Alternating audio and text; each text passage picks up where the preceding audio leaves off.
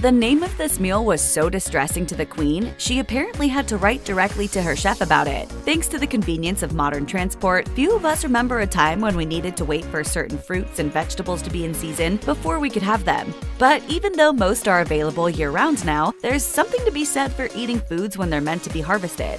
We can imagine this would be the case at the Royal Summer Estate of Balmoral, where plenty of strawberries are said to be found in the gardens when Queen Elizabeth II was in residence. But there was one point when a seasonal strawberry dish led Her Majesty to write a note to the royal kitchen. Royal chef Darren McGrady says Balmoral strawberries were a favorite for the late monarch, particularly when they were in season. In 2017, McGrady told Vanity Fair, the Queen would relax by going strawberry picking and come back with a basket of berries for me to prepare in the kitchen.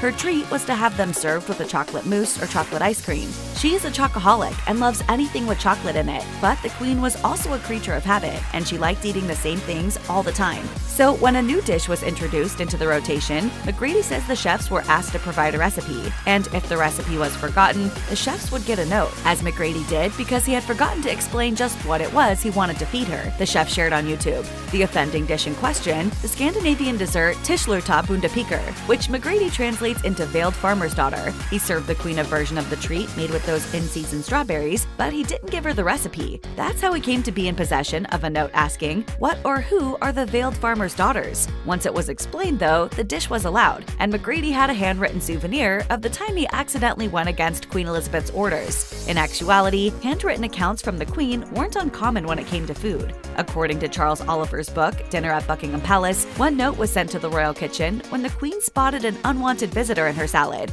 Upon finding a slug in her food, she placed it in a torn off sheet of her comments book and wrote, I found this in the salad. Could you eat it? Of course, the Queen had a lot of control when it came to her menu selections. The royal chef would write meal suggestions in a leather book in which Her Majesty would cross out items she wasn't interested in and make requests. According to royal chef Mark Flanagan, the Queen also requested that her menus be in French. The tradition of French menus in Windsor Castle began when French became the official language of the court in the 11th century. Per cheat sheet, the menu remained this way even when hosting foreign diners. Luckily, the Queen herself was fluent in the language. She was fond of perfection when it came to menus too.